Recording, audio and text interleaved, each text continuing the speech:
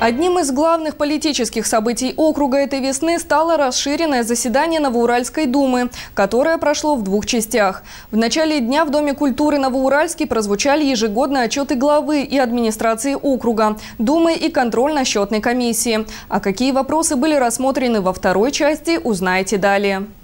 На очередном заседании Думы было рассмотрено 12 вопросов. В первую очередь депутаты заслушали ежегодные отчеты о деятельности главы и администрации округа, а также Думы и контрольно-счетной комиссии. Ежегодные отчеты перед депутатами и населением – это элемент гласности и открытости местной власти и форма контроля, установленная уставом Новоуральска.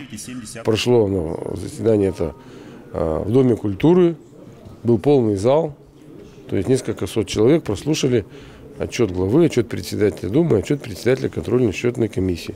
Это серьезное событие. Дума утвердила перечень наказов избирателей депутатам Думы 8 созыва, принятых к выполнению на 2023 год. Этому предшествовала большая подготовительная работа. В 2023 году в перечень наказов включены мероприятия в рамках общегородских программ, мероприятия народной программы городских изменений, три наказа, перенесенные с 2022 года, а также мероприятия муниципальной программы формирования современной городской среды по предложениям депутатов Думы. Всего в 2023 году планируется выполнить исполнить 86 наказов жителей. Во второй части заседания Думы тоже были рассмотрены серьезные вопросы о подготовке к летней оздоровительной кампании детской.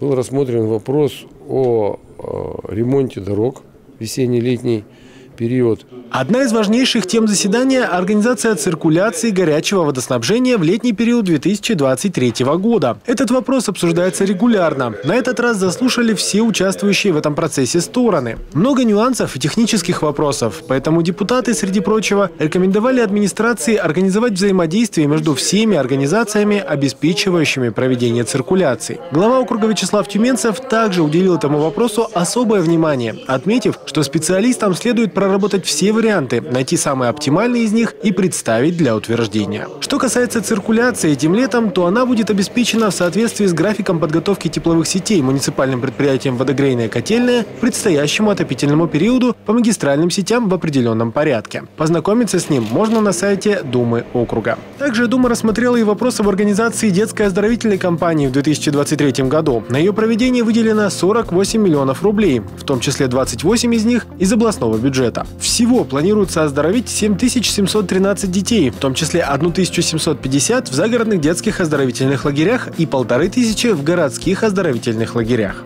У нас много детей, это льготные категории граждан. Это было тоже решение Думы, а, потому что а, мы понимаем, что не все родители могут заплатить а, даже 10 тысяч рублей, сколько сегодня стоит путевка на 21 день. Поэтому наша задача помочь всем детям там отдохнуть. И у нас льготники – это дети и из э, малообеспеченных семей, опекаемых семей, это дети-инвалиды, это дети из многодетных семей. В этом году это дети как раз да, вот наших мобилизованных всех, кто участвует в спецоперации.